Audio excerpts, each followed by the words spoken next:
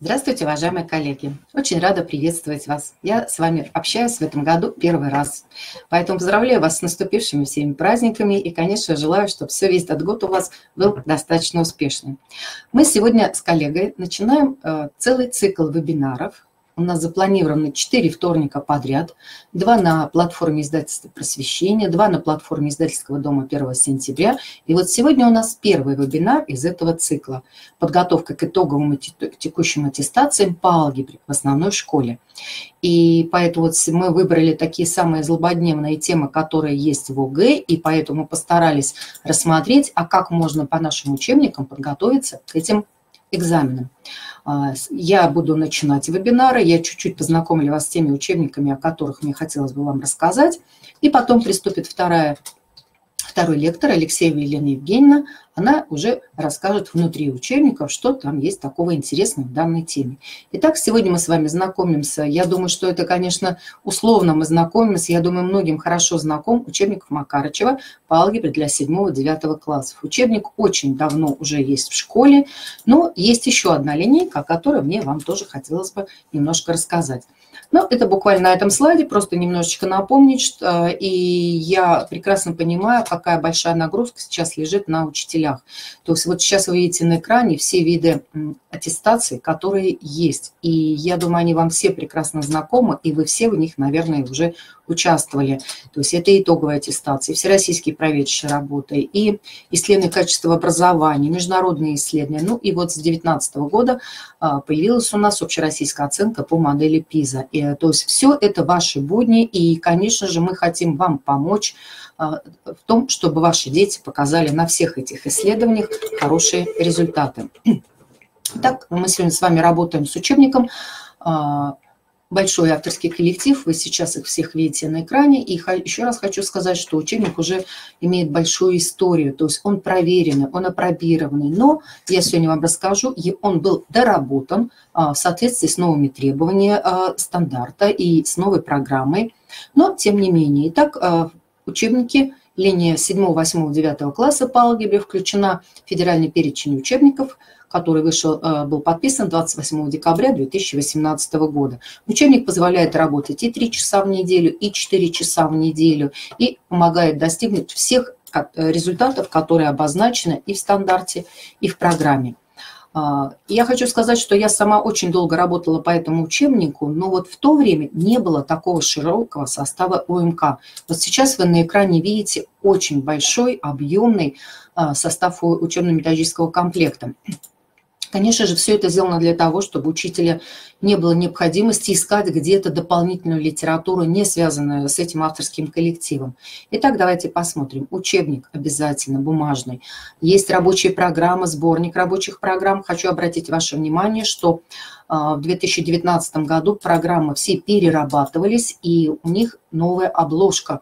Сейчас здесь только программы учебников нашего издательства. В прошлые годы были учебники, программы были к учебникам и других издательств, но очень популярных. Следующее. Вот справа вы видите на экране а, страничку, где можно приобрести у нас в интернет-магазине электронную форму учебников. Очень интересная структура, очень интересное издание, такое многослойное издание а, учебника бумажный, в нем внутри есть, но кроме этого тоже очень много различных материалов. Дальше дидактические материалы, тематические тесты, методическое пособие. А, оно выложено в свободном доступе на сайте. Книга по урочных разработок называется «Уроки алгебры». Рабочие тетради к каждому классу в двух частях. Есть книги дополнительные главы к учебникам. Ну и вот справа внизу вы на экране можете видеть электронные приложения.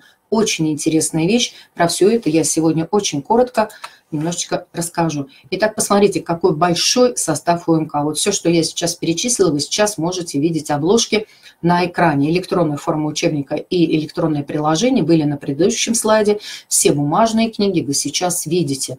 То есть вот в наше время такого широкого, конечно, не было. У нас, понятно, были дидактические материалы. Все остальное мы где-то пытались искать. Ну и методические рекомендации, они тоже есть. А, дополнительные главы есть для 8-9 класса, и они как бы выпущены достаточно давно. Итак, что же было сделано и доработано? Итак, перед каждой главой учебника были добавлены небольшие вводные тексты, потому что одним из требований стандарта э, предусмотрена мотивация ученика к изучению данной темы. Поэтому вот эти введения, они как раз преследуют именно эту цель – дальше усилена прикладная направленность. И мы с вами понимаем, что сейчас есть исследования, есть экзамены, в которых именно решаются практические задачи. Поэтому такие задачи были добавлены. А, больше внимания теперь уделяется, уделяется графикам реальных зависимостей. Увеличено а, количество задач на работу с формулами, на проценты. Добавлены задачи на смеси и сплавы. То есть это теперь в достаточном количестве для отработки всех этих навыков. Усилено внимание к развивающей функции обучения обучения, расширено задач, а, количество задач, которые требуют специальных приемов решений а, и особого подхода к решению этих задач. А, Еще очень важно, появились новые виды задач.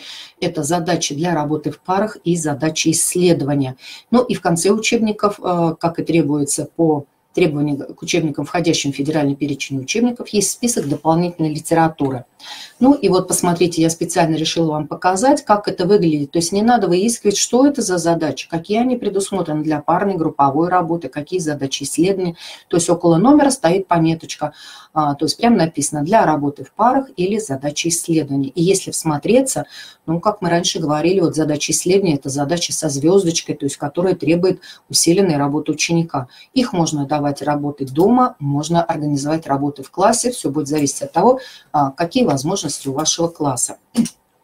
А, структура учебника традиционная. Есть главы, а, есть параграфы. И вот я уже говорила, что в каждой главе добавлено введение. В конце параграфа, естественно, контрольные вопросы и задачи, упражнения для повторения. Упражнения для повторения есть в очень многих учебниках.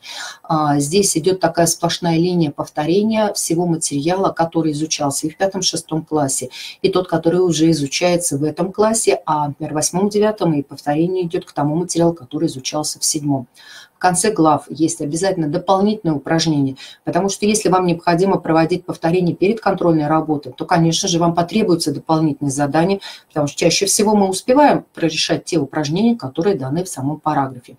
Ну и, конечно же, для развития детей, которым очень интересна математика, есть раздел для тех, кто хочет знать больше и именно этот материал выходит за рамки обычной школьной программы, и поэтому и 4 часа алгебры, а, и 5 можно вести по этим учебникам.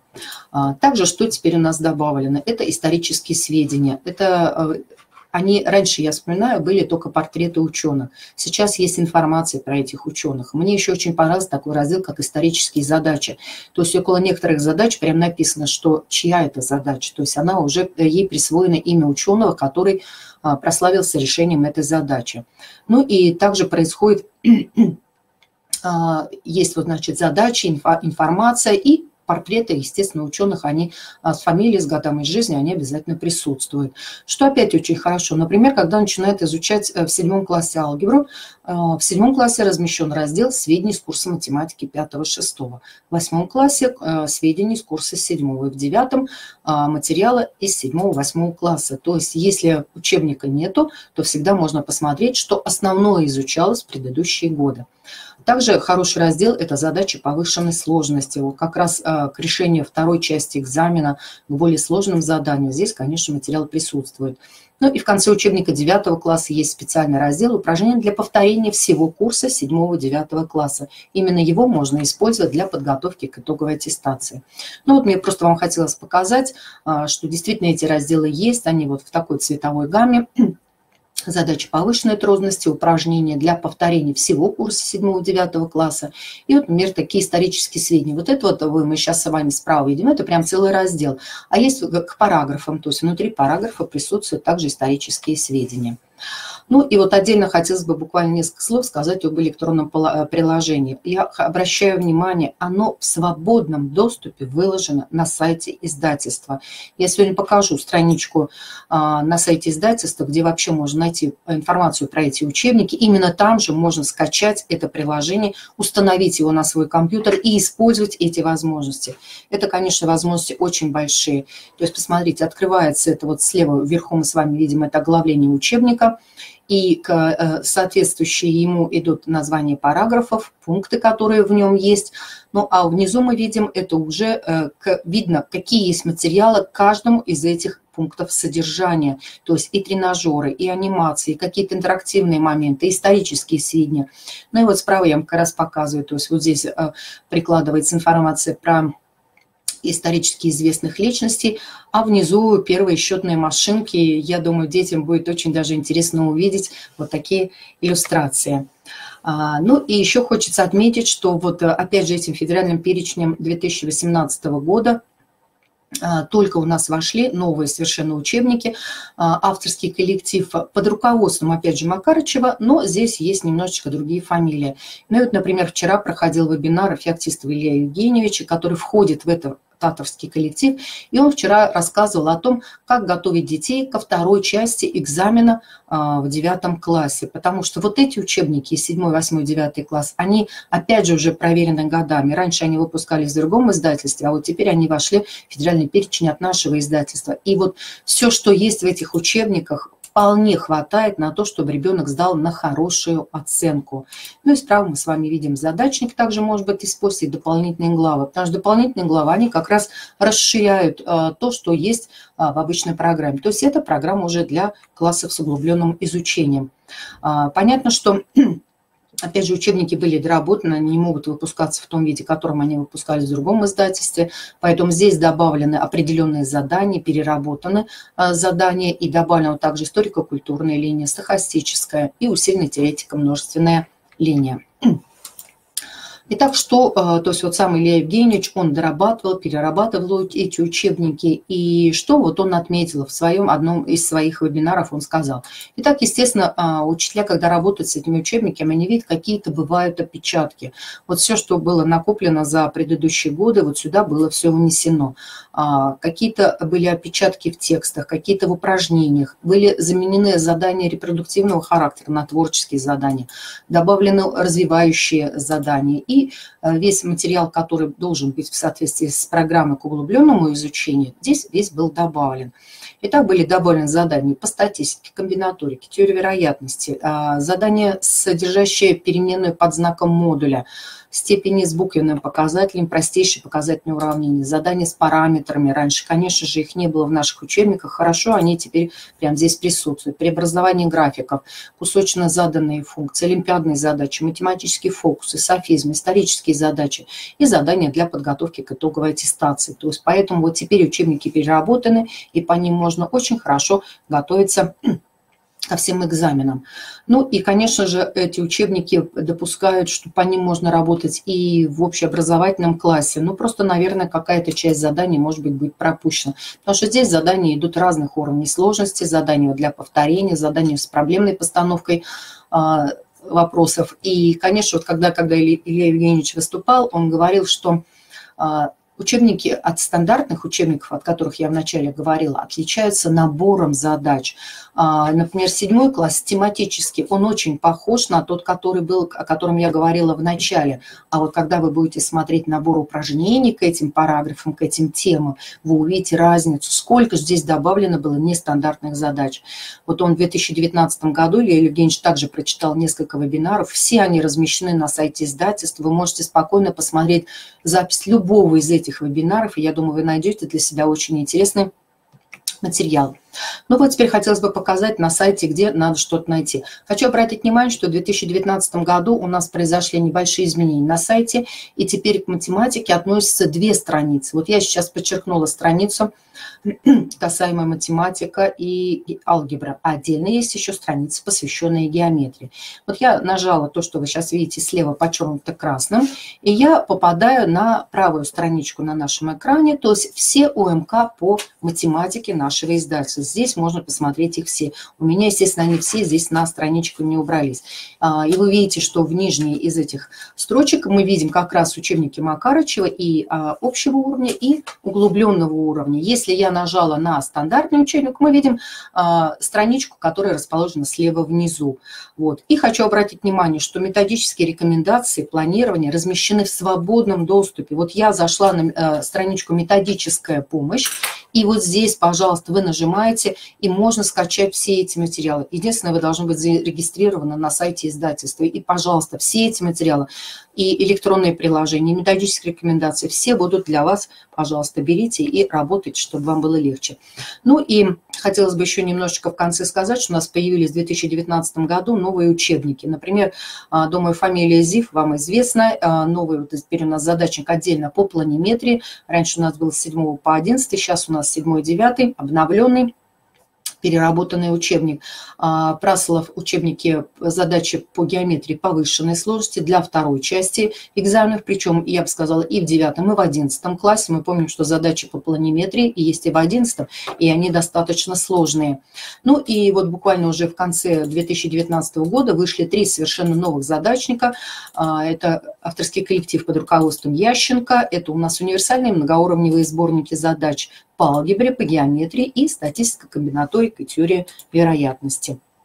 Ну и, конечно же, когда вы будете готовить ребят к ОГЭ и ЕГЭ, вот вы сейчас видите обложки всех этих книжечек.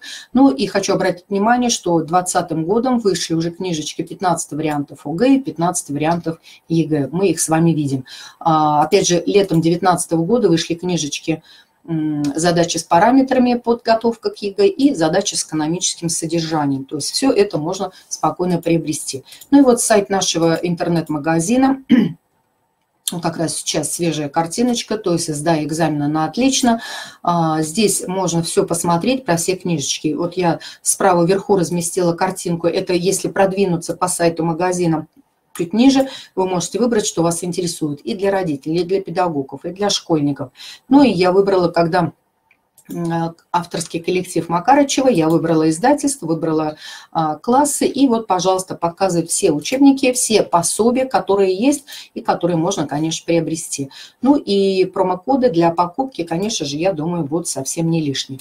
Ну и в завершение моей части выступления я бы хотела сказать, что вот я выбрала а, из данной нашей теме, к теме нашего вебинара «Умение решать уравнения в курсе алгебры», я выбрала материал, который есть в учебниках 7 8 9 класса. Вот это обычные учебники, те, которые вот были у нас давно, это для всех ребят. И вы видите, что этим темам посвящены целые главы, и это достаточно большой материал. И точно так же я подобрала материал, посмотрела, который есть в учебниках углубленного изучения, также в 7, 8, 9 классе. Поэтому сейчас следующий лектор э, Алексеева Елена Евгеньевна продолжит уже а, свое выступление о том, как можно готовить ребят именно по этим учебникам. А, если у вас какие-то будут вопросы по моей части выступления, пожалуйста, пишите, а, есть в чате раздел «Вопросы», я с удовольствием на эти вопросы отвечу. А сейчас я передаю слово Лене Евгеньевне.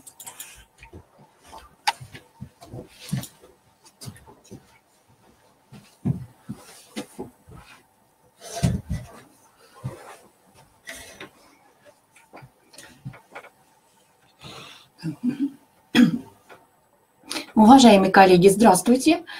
Мы продолжаем наш вебинар «Подготовка к, коду, к итоговым и текущим, текущим аттестациям по алгебре в основной школе». И сегодня мы с вами обратим на внимание на формирование умений решения уравнений в курсе алгебры.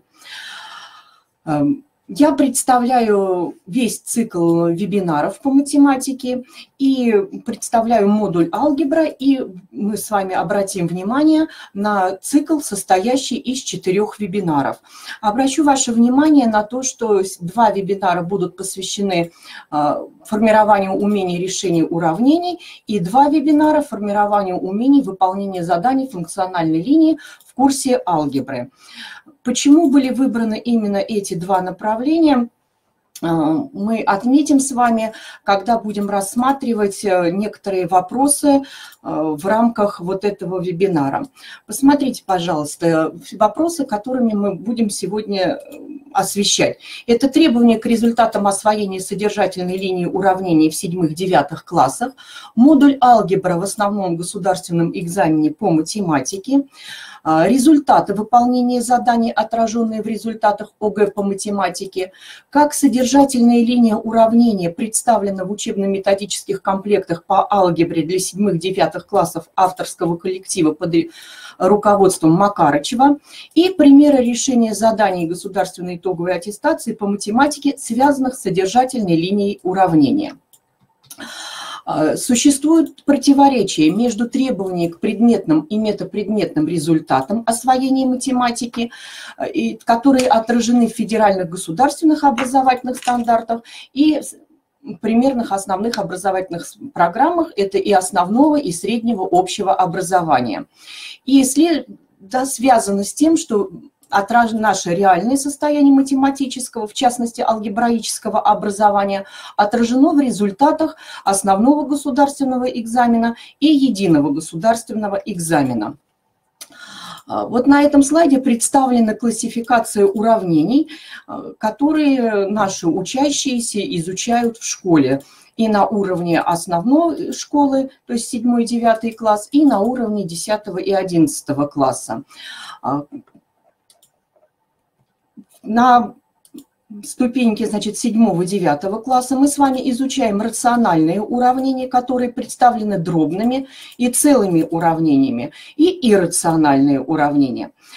А, как какие же выдвигаются требования в примерных основных образовательных программах. Эти требования отражены, еще раз повторяю, в примерных программах и выделены личностные, метапредметные и предметные результаты. Метапредметные и предметные результаты подлежат итоговой оценке, а в метапредметные результаты уже входит формирование универсальных учебных действий.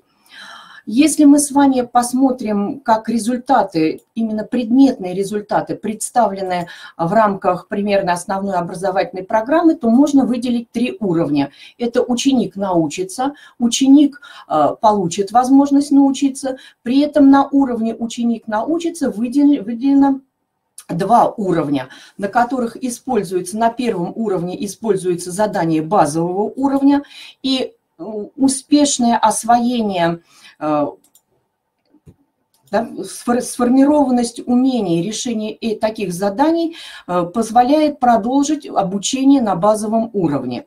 На, уровне, на следующем уровне ученик научится, когда используется задание повышенного уровня сложности. И если учащиеся э, успешно выполняют такие задания, то они продол успешно продолжают э, обучение на базовом и повышенных уровнях. И это обеспечивает им переход на следующий уровень.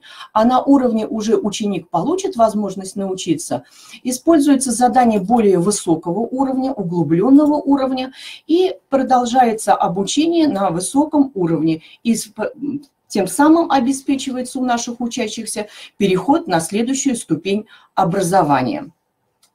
Если мы с вами посмотрим и проанализируем познавательные действия, которые входят э, в метапредметные результаты обучения математики, и выделим те результаты, те действия, которые соответствуют содержательной линии уравнения, мне бы хотелось э, особое внимание обратить э, ваше внимание обратить на логические действия. Посмотрите, какие умения должны быть сформированы у наших учащихся. Это и определять виды уравнения, проводить сравнение уравнений, устанавливать аналогии, анализировать объекты для выделения свойств и признаков объектов, классифицировать уравнения, устанавливать причинно-следственные связи, устанавливать отношения между понятиями и делать выводы. Э, как обычно наши учащиеся начинают э, приступать к решению уравнений. Они чаще всего очень быстро начинают именно решать уравнение, не определяя его вид, не фиксируя этот вид, а следовательно у них начинает э, возникать проблемы именно с тем ходом решения конкретного какого-то уравнения. Если мы с вами посмотрим как представлен модуль алгебра в основном государственном экзамене, то мы видим с вами, что алгебраические задания представлены а, в двух частях. Это первая часть и вторая часть. При этом в первой части представлены уравнения базового уровня. Э, мы с вами знаем, что в этом году происходит изменение а, с точки зрения содержания основного государственного экзамена, но все равно вот задание с 1 по 15 – это задания, которые относятся к модулю алгебра. Во второй части можно выделить три задания, это 21, 22 и 23, и эти задания, с одной стороны, можно сказать, что в явном виде не относятся а, к заданиям, которые мы сейчас будем с вами рассматривать, то есть э, в явном виде не относятся к содержательной линии уравнения, но в то же время мы с вами отметим такие особенности. Значит, из в первой части задание номер 9 – это в явном виде дано уравнение.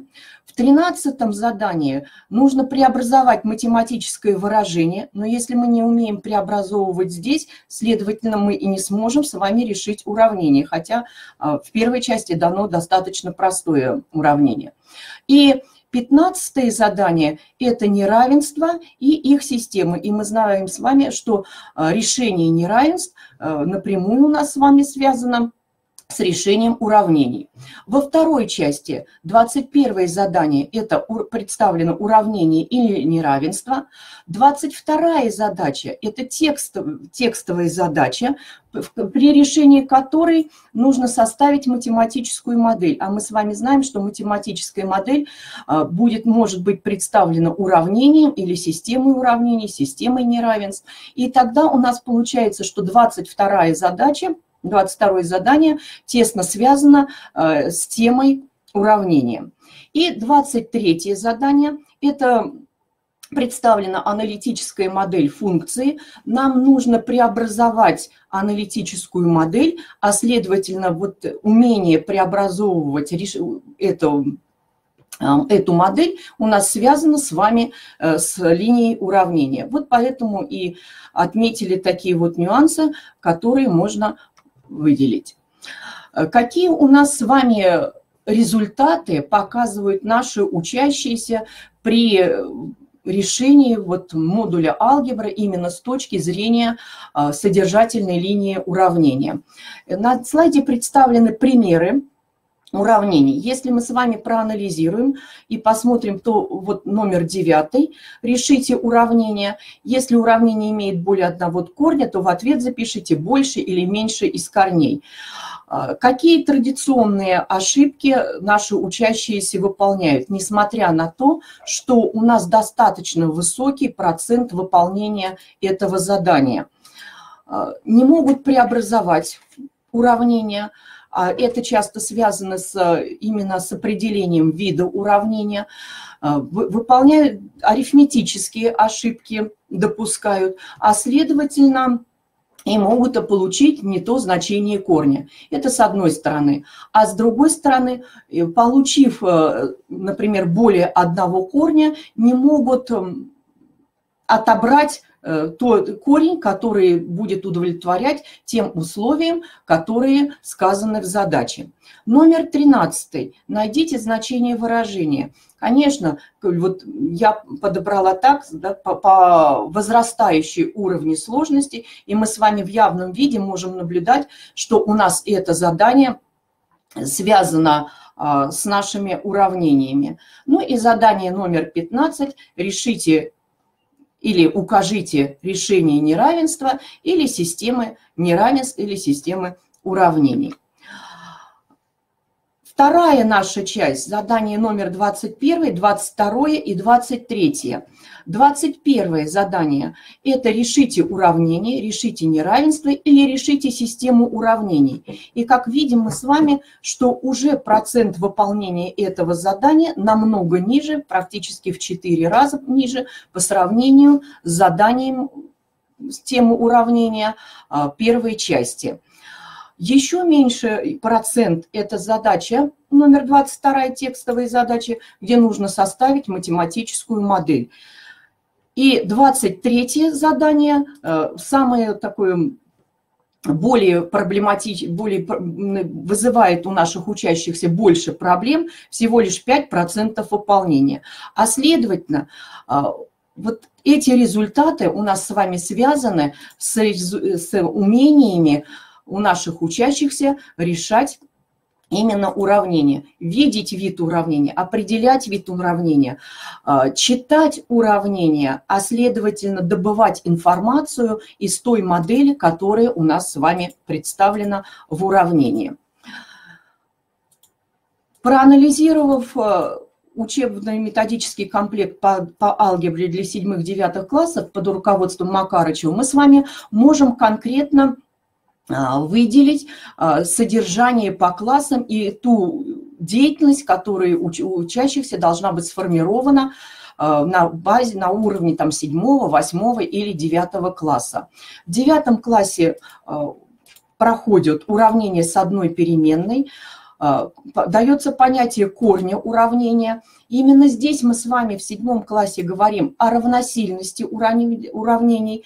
Э, надо отметить, что вот понятие равносильности уравнений не в каждом учебно-методическом комплекте вводится на уровне седьмого класса. И здесь мы уже начинаем формировать умение э, составления математической модели при решении текстовых задач. Продолжается содержательные линии, это линейное уравнение с двумя переменными и их системы, и, соответственно, решение систем линейных уравнений. Восьмой класс – это квадратные уравнения и его корни.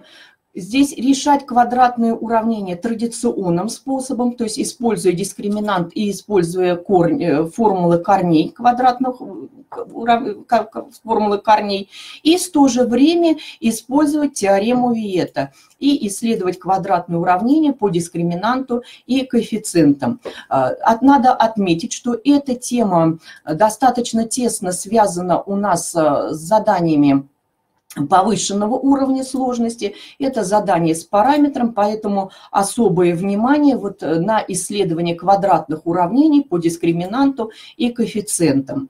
Э, следующий блок э, уравнений – это дробно-рациональные уравнения сформируется умение решения дробно-рациональных уравнений, при этом мы должны с вами сформировать умение сведения уравнений к, реши, к линейным или квадратным уравнениям и с последующим исключением посторонних корней.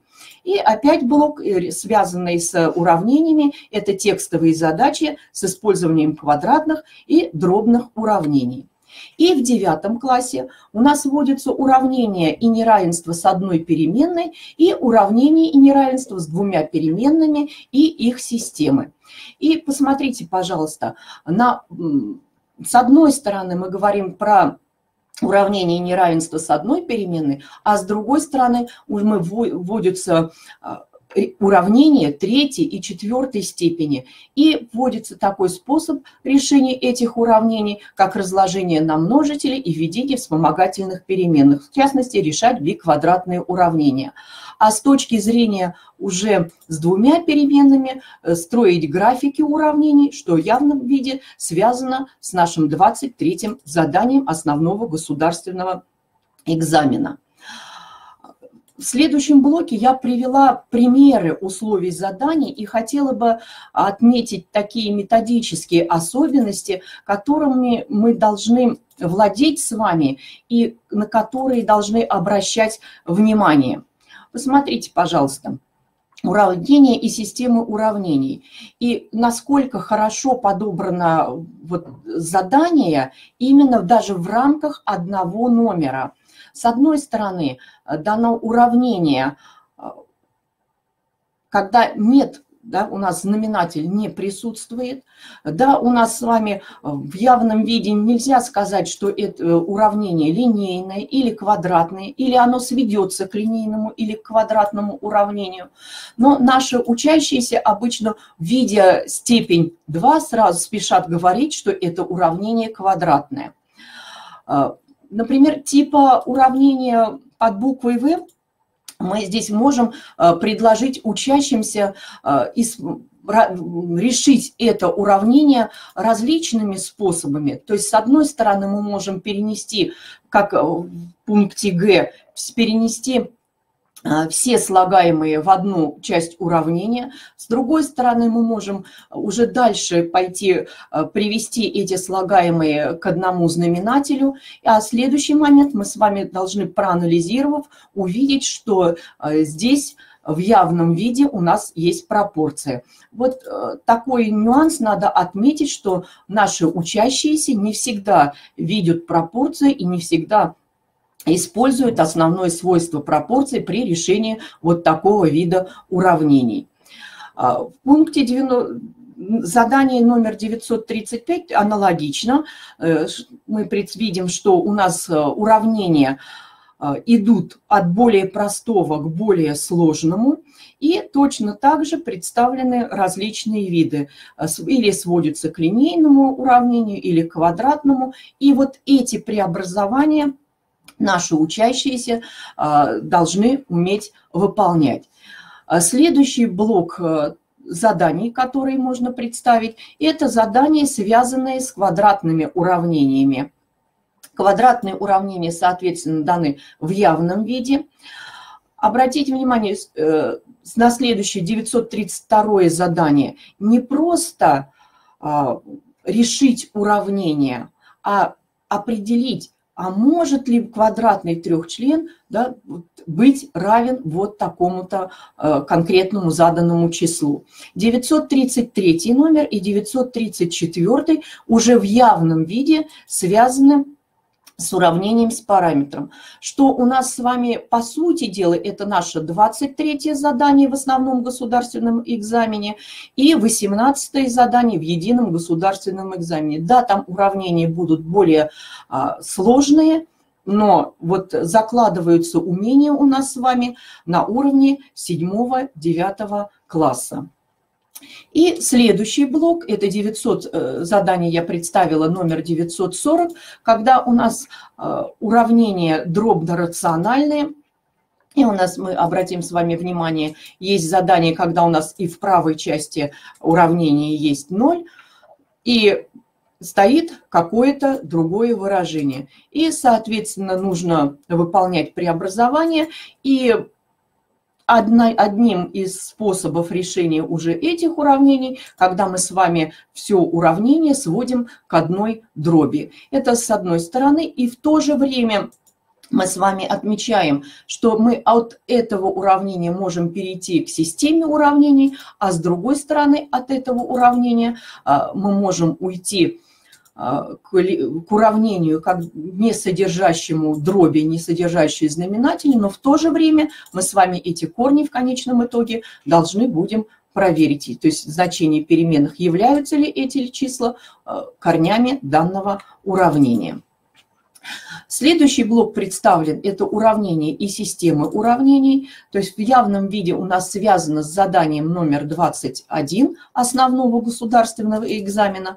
И когда мы уже читая эту систему уравнений, анализируя, выбираем способ решения этой системы и, соответственно, а, можем выбрать тот или иной а, способ решения. Текстовые задачи в основном государственном экзамене э, достаточно разнообразны. Это задачи и на движение по суше, и задачи на движение э, по воде. Ну, вот в данном случае представлены на движение по суше. Здесь представлены задачи на движение по воде. Задачи на работу. Особо хочется выделить задачу вот 966-ю, э, задачи на проценты. Надо отметить, что и в блоке основного государственного экзамена и в первой части, и во второй части, и в едином государственном экзамене встречаются задачи на проценты, и в то же время мы видим с вами, что эти задачи есть и на уровне седьмого класса, восьмого, но в то же время у наших учащихся есть проблемы с решением задач на проценты. И вот последний блок выступления – это примеры решения заданий повышенной сложности, которые представлены а, в учебно-методическом комплекте и которые соответствуют содержательной линии уравнения и заданиям основного государственного экзамена. А, Задание такое. Найдите корни многочлена. И просто я представляю не два варианта решения этого задания.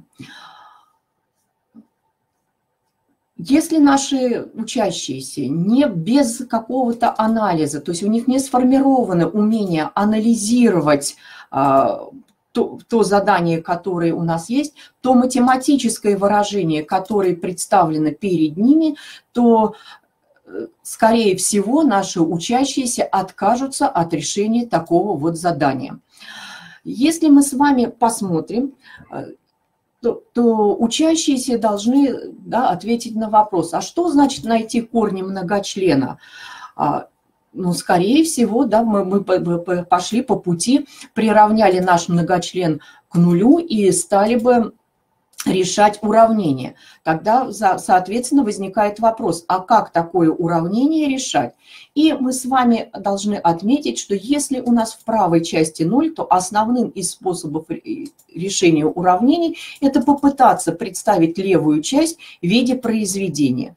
Ну и в данном случае мы выполняем группировку слагаемых, выносим потом общий множитель из каждой скобки, и появляется общий множитель 2х плюс 1, который можно еще раз вынести за скобки. После того, как вынесли множитель 2х плюс 1 за скобки, в скобках появилось биквадратное уравнение x в четвертой степени минус 5х в квадрате плюс 4. И уже решая биквадратное уравнение, введя новую переменную y, используя э, формулу дискриминанта и формулу корней э, квадратного уравнения, мы получаем корни y1 равно 1 и y2 равно 4. Тогда квадратный трехчлен можно будет разложить на множители y минус 1 умноженное на y минус 4. И, соответственно, возвращаемся мы к старой переменной. Получается x в квадрате минус 1 и x в квадрате минус 4.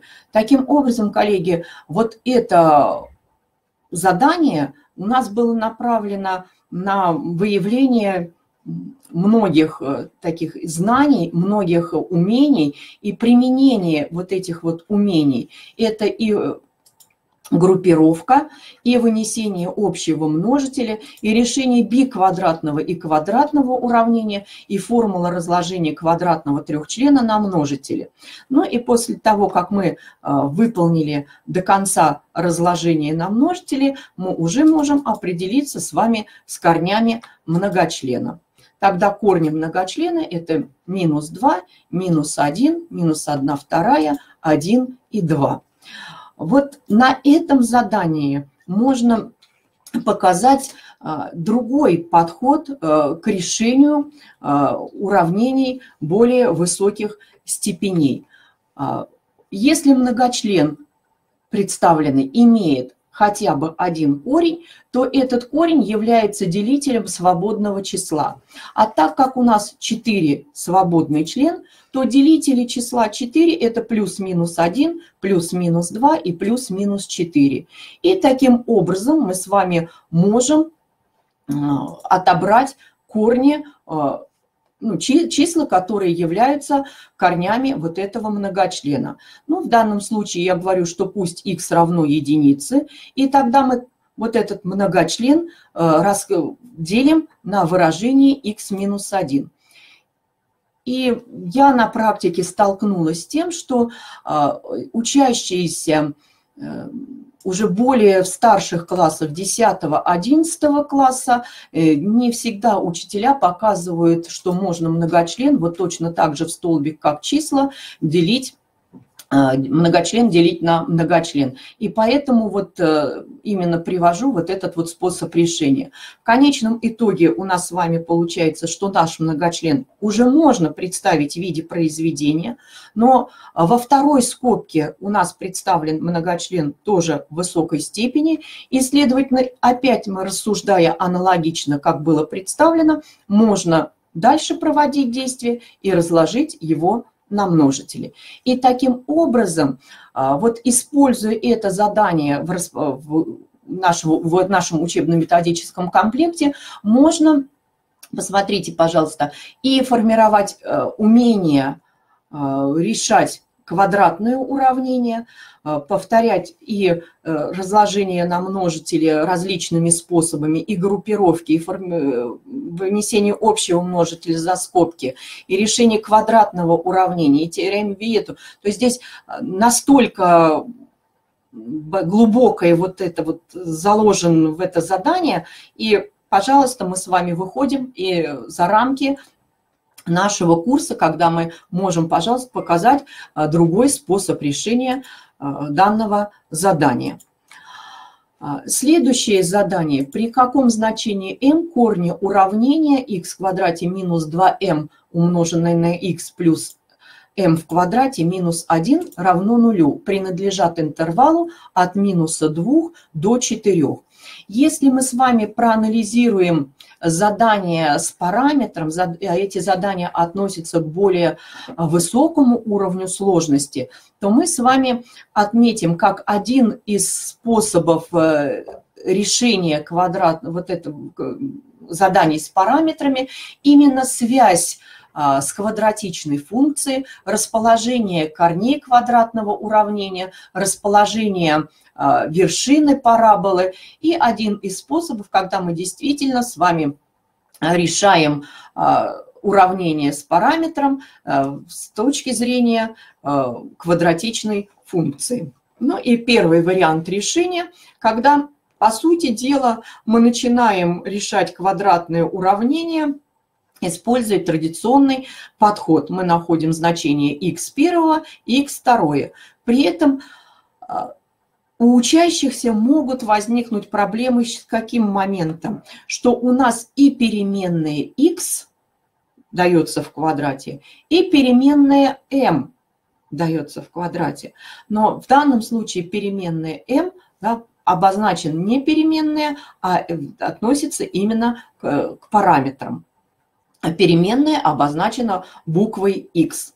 И таким образом получилось, что у нас корни данного уравнения зависят от m. Первый корень получается m минус 1, и второй корень m плюс 1. Так как у нас есть условие, что корни принадлежат интервалу от минуса 2 до 4, то у нас можно составить систему двух неравенств. Вот так при решении э, уравнения мы переходим э, к неравенствам. И, соответственно, связь в явном виде можно показать это между уравнениями и неравенствами. Решая это, эти неравенства, в конечном итоге мы получим m э, должно быть больше минус 1, но меньше 5, и m больше минус 3, но, меньше, но больше минус 3, но меньше 3. И таким образом мы отразим это в виде геометрической модели, и тогда скажем, что m принадлежит промежутку а, от минуса 1 до 3. Второй вариант решения э, – показать, что данное уравнение можно решать не используя дискриминант, не используя корни квадратного уравнения, а через теорему Виета. Но в конечном итоге результат а, будет тот же. А вот э, примеры первый и второй, мне именно хотелось обратить ваше внимание, что предлагайте учащимся а, задание одно, но разные способы решения. Особенно, наверное, будет э, хорошо вот поговорить на а, первом примере, когда можно сказать, ребята, а какой же способ решения а, более рациональный, более простой, более удобный для вас? Да, мы даем аппарат а, математический нашим учащимся, но в то же время мы должны сформировать умение видения проблемы, формулирование проблемы и нахождение путей решения этой проблемы. А следовательно, с этой точки зрения мы с вами должны показать нашим учащимся разные способы решения заданий. Э, следующее задание. А, вот опять э, приглашаю вас сравнить пример третий и следующий пример будет четвертый. А, они как бы перекликаются друг с другом, но подход должен быть немножко разный. Посмотрите, пожалуйста. А, в процессе анализа мы с вами увидим, что у нас в правой части 0, а в левой части у нас есть выражение. При этом выражение у нас представлено разностью, вот она. И у нас первое слагаемое у нас получается это а, многочлен в четвертой степени. Так как у нас а, разность, следовательно, мы можем воспользоваться а, путем понижения степени. Таким образом, и опять наталкивает на мысль, что у нас в правой части 0, следовательно, попытаться представить левую часть в виде произведения. Но используя формулу сокращенного умножения, а, представляется в виде произведения, вот она, x в квадрате плюс x, и все это выражение в квадрате минус 1, умноженное на сумму а, степени с основанием x в квадрате плюс x в квадрате и плюс 1. А, дальнейшее разложение на множители вот этого множителя опять возможно. И получается, что у нас квадратный трехчлен будет в скобках. А вот разложение второго множителя, нас еще дополнительно следующий шаг разложить на множители, его нельзя. Предложите, пожалуйста, учащимся проанализировать а, все множители. Да, это квадратный трехчлен. Квадратный трехчлен может быть равен нулю. Следовательно, наше вот это уравнение, соответственно, а, представленное произведением, а, оценив каждый множитель, в конечном итоге разобьется на три уравнения. Первое уравнение, да, может быть равно нулю и сведется к решению квадратного уравнения. Второй множитель тоже может быть равен нулю и сведется решение к квадратному уравнению. А что собой представляет третий множитель? Если мы проанализируем, то вот здесь уже представлен результат, то решили первое уравнение, получили два значения для переменной x. Во втором уравнении дискриминант стал отрицательный, а так как отрицательный, то действительных корней нет. И третье уравнение, хотя мы и написали с вами, что да, произведение равно нулю, хотя, когда хотя бы один из множителей равен нулю, то у нас получается, что это уравнение, э, это выражение никогда не будет равно нулю. Оно больше нуля при любых значениях x.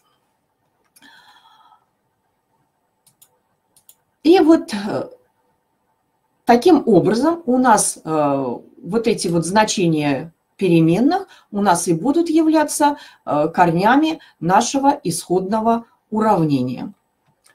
И посмотрим следующее задание, которое я э, именно говорила, что мы с вами сравним. Смотрите, пожалуйста, у нас в левой части и там, и там алгебраическая сумма. И каждый каждое слагаемое – это степень да, с показателем равным 4. Здесь точно так же слагаемое и степень с показателем равным 4.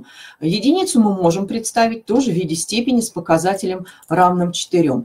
Но так как у нас здесь а, представлена сумма, то у нас мы не можем воспользоваться формулой сокращенного умножения и пойти по тому пути, который был представлен в предыдущем задании. Тогда обратим внимание с вами на основание степеней x плюс 3 и x плюс 5. А, то есть различаются у нас с вами эти э, основания степеней на две единицы. И таким образом можно ввести а, ввести новую переменную. То есть обозначим x плюс 3 через t минус 1, а x плюс 5 через t плюс 1. И тогда получается, что э, в нашем случае, э, уйдя, введя новую переменную, мы можем э, ввести и степень основания уже пойти по пути понижения степени и ввести да, в эту степень. Тогда получается t минус 1 в квадрате и еще раз возведем в квадрат, и t плюс 1 в квадрате и еще раз возведем в квадрат, и равно 4. А, когда мы возведем в квадрат и приведем подобные слагаемые, то в конечном итоге получаем b-квадратное уравнение, и решая b-квадратное уравнение, найдем значение переменной t. Ну, а решая уже b-квадратное уравнение, мы с вами опять вводим, я ввела новую переменную k и таким образом нашла значение переменной k. Ну и в конечном итоге э, переходим с вами э, к нашим старым переменным, то есть возвращаемся к исходным переменным. Через э, от переменной k мы с вами перешли к переменной t, тогда t1 будет минус корень, из, корень квадратный из выражения минус 3 плюс корень из 10, и t2 э, плюс да, корень квадратный из выражения минус 3 плюс корень из 10. Ну и ответ мы пока с вами писать не можем, потому что в исходном нашем уравнении была переменная x. И таким образом мы делаем еще один шаг и переходим к нашей исходной переменной. И получаем, что x равно t минус 4, и в конечном итоге находим значение переменной x.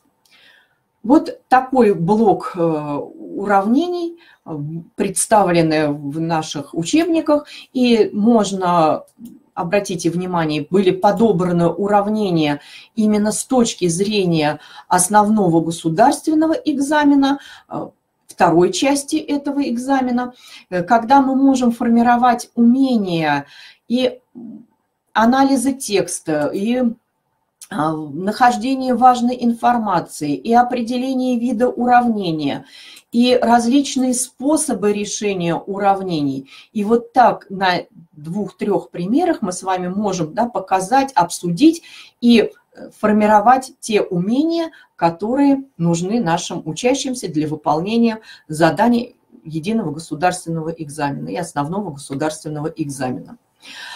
А, обращу ваше внимание на текстовые задачи. А вот блок был представлен текстовых задач, и было сказано, что э, в основном государственном экзамене э, в основном задачи решаются с помощью составления математической модели. А математической моделью выступает уравнение или система уравнений, или система неравенств. Чаще всего выступает это уравнение. И Особое внимание хотелось бы обратить ваше, обратить ваше внимание на решение текстовой задачи с экономическим содержанием. Да, это в явном виде задача единого государственного экзамена. А, задачи с экономическим содержанием а, редко встречаются в основном государственном экзамене. Это все равно большинство задач на движение, задачи на работу, задачи на проценты, например, э, сухофрукты, когда мы с вами сталкиваемся с сухофруктами. А вот в таком явном виде задачи с экономическим содержанием встречаются в основном государственном экзамене редко. Но у нас на да, учебник вот представляет такую возможность, с одной стороны, познакомиться с блоком таких задач, сформировать понятия, основные понятия, которые связаны с этими задачами, и с другой стороны, уже сделать ступеньку, вот этот небольшой шажок в направлении единого государственного экзамена. Я представила на слайде две задачи и обращу ваше внимание, что наши учащиеся а, при решении этих задач должны увидеть. Посмотрите, клиент банка внес 8 тысяч, ну какую-то сумму, есть годовой да, доход, то есть это проценты. И вопрос и в том и в другом случае, какая сумма окажется у него на счету через два года. Но с одной стороны, в первой задаче под буквой А у нас с вами клиент не производит никаких действий э, а, со своим вкладом, а во втором случае он производит действие, то есть добавляет э, деньги на счет вклада. Как рекомен... Э, в качестве рекомендации и на уровне основного государственного экзамена, и на уровне а, единого государственного экзамена к задачам с экономическим содержанием можно подойти а, аналогично задачам а, на движение, как задачам на работу. Точно так же составлять математическую модель, которая будет представлять собой уравнение. Первый этап решения задачи – это анализ текста задачи. Вот я представила анализ в форме таблицы, то есть есть первоначальный вклад, есть срок вклада, есть процентная ставка R, это 5%, и есть два коэффициента, альфа и бета. Вот в экономической литературе эти два коэффициента обозначают буквами альфа и бета, в другой какой-то методической литературе вы можете встретить э, другие буквы, но важно показать, что означают эти коэффициенты. То есть коэффициент альфа а, мы переводим нашу процентную ставку в десятичную дробь. Так, вот здесь э, опечатка 10, то есть здесь должно быть 5. 5 делить, делить на 100, и тогда будет 0,5. И вот этот коэффициент э, нам покажет, э, сколько денег у нас да, прибавилось на счет. И коэффициент бета, когда мы с вами будет, он будет равен единице плюс r, деленное на 100. И этот коэффициент позволяет нам вычислить э, сумму, которая у нас будет на счете после начисления процентов. Ну и в данном случае найти конечную сумму. Вот то, что я говорила, подойдите, пожалуйста, к оформлению составления математической модели аналогично задачам на движение, задачам на работу, то есть при, используя таблицу. А, она более информативная для наших учащихся, а, более понятная, они, то есть они начинают понимать те действия, которые мы производим. Сумма в данном случае у нас надо положили на 2 года. Сумма до начисления процентов это будет 8 тысяч рублей. Следующий столбик – это сумма вклада после начисления процентов. И вот я сказала, что коэффициент бета позволяет нам вычислить сумму вклада а, которая будет после начисления процентов. И мы с вами заполняем эту таблицу, да, идя по строчкам. Никаких действий в данном случае с вкладом мы не производили. И, следовательно, эта сумма у нас перейдет на начало второго года. В конце второго года мы с вами начисляем проценты и опять никаких действий с вкладом не производим. Э, сумма вклада после начисления процентов у нас будет э, равна конечной нашей сумме, и, соответственно, в данном случае будет равна 8820 рублей, как после преобразования. А, да, в явном виде эта задача не была направлена на составление математической модели, а да, как бы мы фиксировали наши действия и получали а, какое-то, получили в конечном итоге какое-то выражение, и именно эту конкретную задачу можно было и решить а, по действиям. С другой стороны, я теперь изменила условия задачи. Посмотрите, пожалуйста, что S – это сумма, которую положили на вклад, а в конце каждого года добавляли 2000 рублей. То есть здесь уже начинают производить действия с вкладом. И тогда аналогично предыдущей задаче мы с вами начинаем а, заполнять нашу таблицу, и результатом заполнения этой таблицы, э, наш, за результатом наших действий будет математическая модель, и в данном случае будет уравнение, а, будет уравнение. Соответственно, сумма вклада до начисления S процентов. Мы в конце первого года начисляем проценты на эту сумму. Действия с вкладом осуществляются. Мы с вами кладем на вклад 2000 рублей и сформировать умение у учащихся, что с одной стороны нашу сумму мы можем положить да, если говорится, что э, на начало года сумма увеличивается, но конец первого года – это начало второго года, а следовательно, эта сумма у нас с вами перейдет и на начало второго года.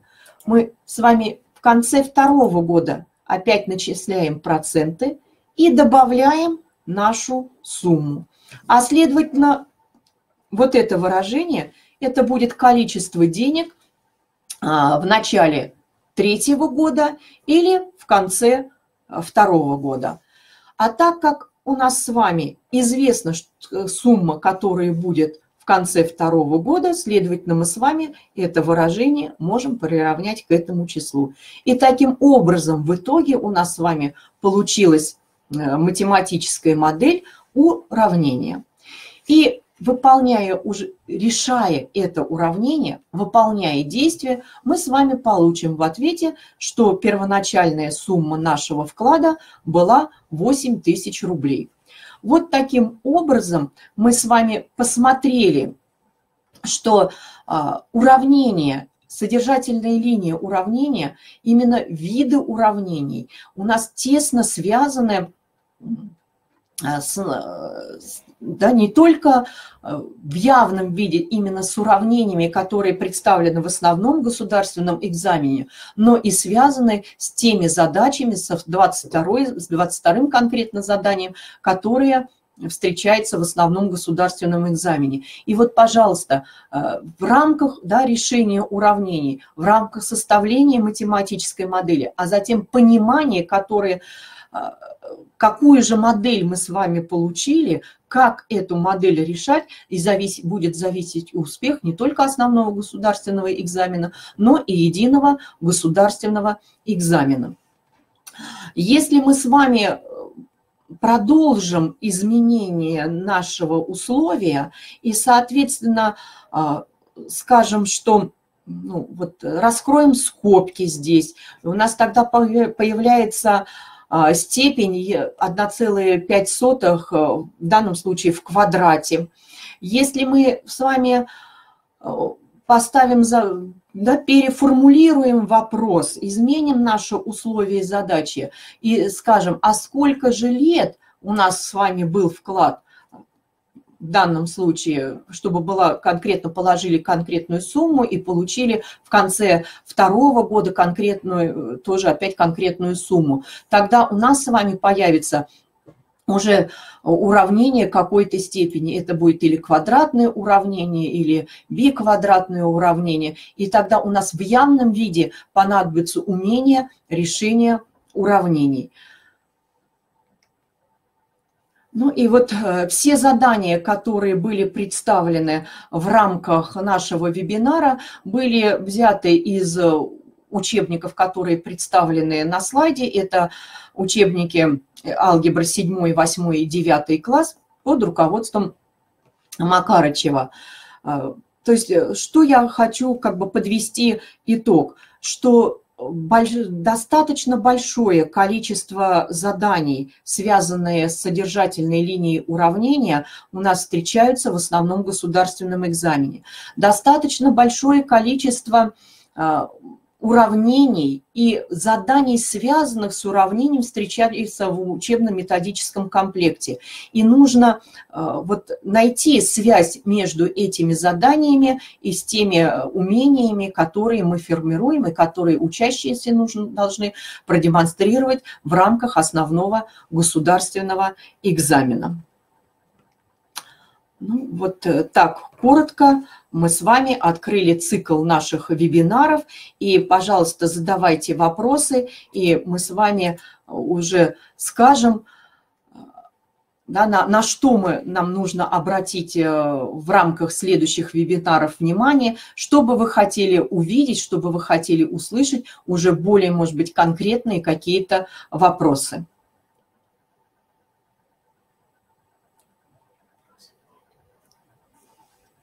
Вопросов нет. Большое спасибо за внимание. До новых встреч. Мы с вами э, встречаемся 18 февраля и продолжим тему решения уравнений в курсе алгебры. Будет представлен другой учебно-методический комплект, и мы уже посмотрим на других заданиях, а какие мы с вами умения сможем формировать, и, соответственно, как нам улучшить результаты э, наших э, выпускников. Большое спасибо. До свидания.